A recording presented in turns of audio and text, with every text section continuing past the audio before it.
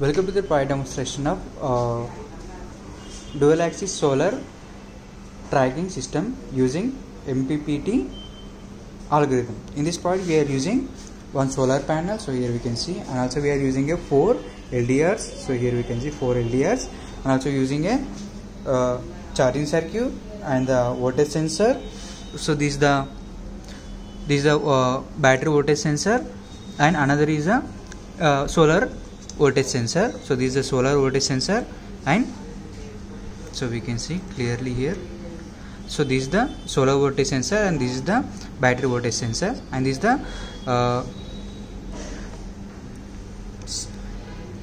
buck converter LM3596 and also using a MOSFET board and a uh, L293D motor driver and also using a track PCB and LCD 16 by 2 LCD and Arduino Uno board. So we don't provide this battery. So it is actual 12 volts 2 amp battery. So in shipping uh, we don't provide this battery. In airport stuff they don't allow the batteries. So that's why you have to adjust that uh, batteries. We don't provide any any kind of batteries. For the demo purpose we are using 12 volts 2 amp battery. You have to use better than uh, better to use 12 volts 1 amp battery or 2 amp battery. So don't increase the voltage or current so using these clips here we can see I have connected positive side and I have connected this negative side. Uh, black color is a negative terminal and the uh, red wire is a positive terminal. We need to connect that one. So the main aim of this part is to uh, based on the uh, sun it will be rotate the it, it will be track the sunlight. So so it will be generated trans uh, it will be generated dc power that will be given to this charging circuit. Using this charging circuit we will charge this battery. So here we can see the connection. So this charged uh, solar generated charging will be given to this MOSFET board.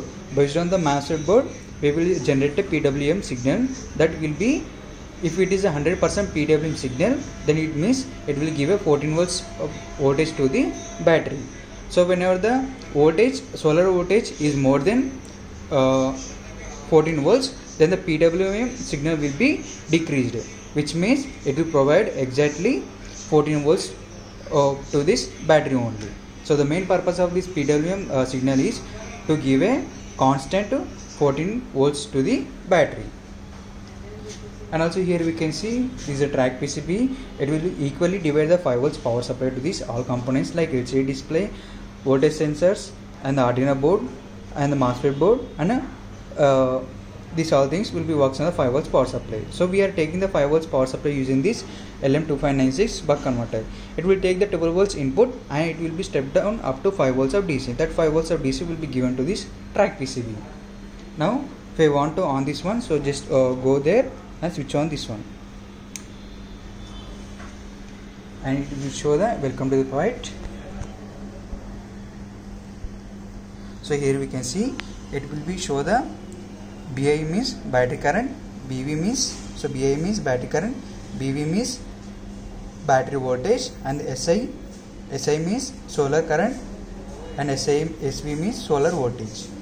Due to low sunlight it will be generated a very low voltage and also here we can see after that one we will show the BP means battery power and the SP means solar power. And here we can see PWM signal shows in the percentage.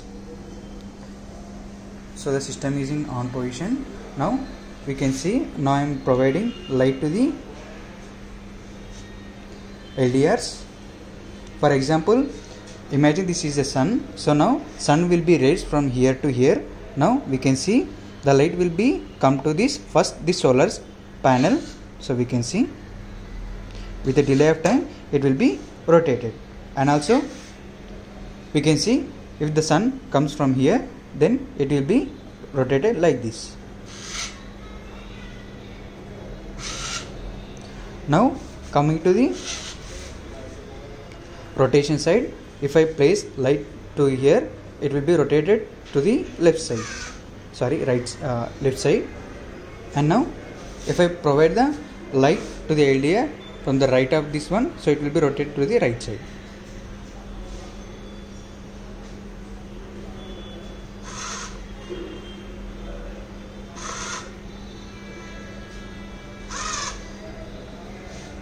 so in this way this product will be works. So based on the sunlight tracking it will be track the sunlight using these four LDRs and now here we can see we can also use transformer to charge the battery. So here we can see we have mentioned here SBIT means solar or the transformer connection. So now here we can see we are giving the connection of the transformer. We are removing the solar and we are giving the transformer. And now I am giving the uh, power supply using this power cable. It takes 230 volts power supply. So here we can see it, it is the taking the 230 volts power supply from the from the primary side and will be stepped down up to 12 volts 1 amp that will be given to this rectifier. Rectifier or charging circuit. So it will be convert AC to DC that converted DC will be given to this battery. So it will convert up to 12 volts 1 amp that will be given to this battery. And also now I am uh, removing this one. If I place solar connection over here and also we can see there will be a small light indication. Now I am uh, giving some light. Now we are providing a light to the system. So we can see there will be a small light indication.